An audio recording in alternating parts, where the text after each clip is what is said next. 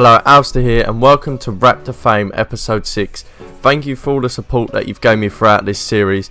And yesterday we just hit 100 subscribers, so I can't believe that we got doubled our channel growth within a week. So we're currently sitting at 108, so welcome the new 8 people to the Albsterz Nation. But within this episode we will be customizing the Nissan GTR or the R35. I wanted to go for a really street like racing build. So um, I stuck a couple of stickers on the back put Nissan on the back as well and put the two females with this sort of crown thing. I put that on there as well just so it looks a bit nice with the blue. Um, I eventually went for blue because blue is my favourite colour. And then we put the two stickers on the both back panels of the car left and right. And then I thought I would want to put maybe a little little name or something on the front. So I see Zen. I went for Zen. That looks really nice. And then with the with the uh, grip enemy, I put on either side, but I wanted that to pop more than the actual um, lady itself. Because the ladies, I put two layers of thing. I put a more darkish on the second layer of it. And then we went to put some stickers on the front as well.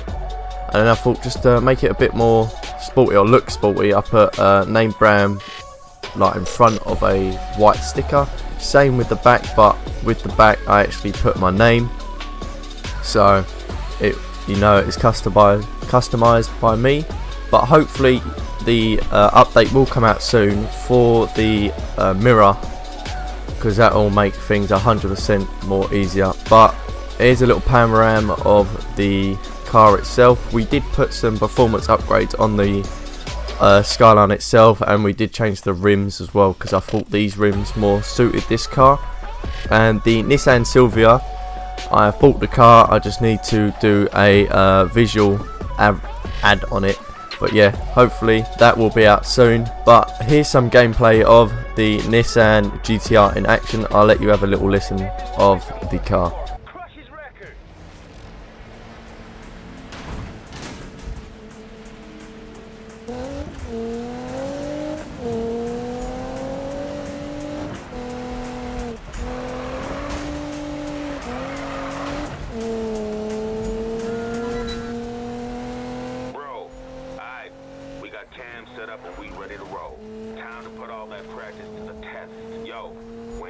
Just head in, man. I know you can do this. Let's do it.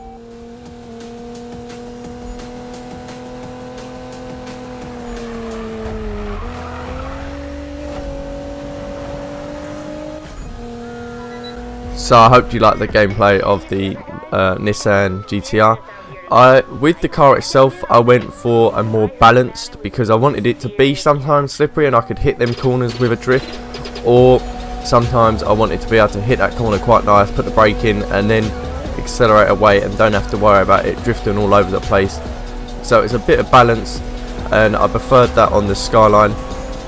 But with some other cars, I like it on full drift. I've never had it on like more grip. I don't know. I just like it so maybe sometimes it's a bit more slippery on the tyres something I can choose if I want to go in for a drift or not but this car my review on it I did really like it because it is my dream car and if you want something that's proper racing does all these time trials for like Magnus Walker and maybe a couple of outlaw missions and that definitely go for the Nissan GTR over maybe uh, the the one we done previously, the Honda S2000, and yeah, there's not much left of the gameplay. So I hope you enjoyed the episode six of Wrap To Frame, and I'll catch you in my next video.